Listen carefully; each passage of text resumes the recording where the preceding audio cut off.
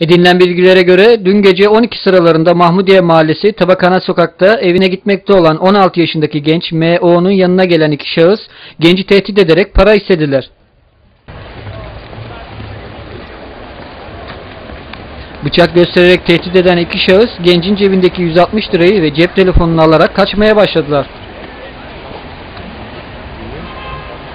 Şahıslardan biri gasp ettikleri telefonu yolda atarak kaçtı. Telefonunu yerden alan mağdur M.O. 155'i aradı. Olay yerine kısa sürede gelen ekipler gaspçıları yakalamak için her taşın altına baktılar. Her taşın altına bakan emniyet ekipleri arabanın altında saklanan iki şahsı kıskıvrak yakaladılar.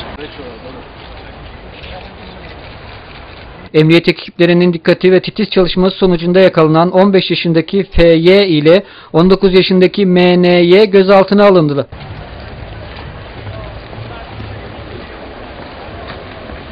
Motosiklet ve iş yerine hırsızından dolayı suç kayıtlarının olduğu öğrenilen iki şüpheli çıkarıldığı mahkemece tutuklandılar.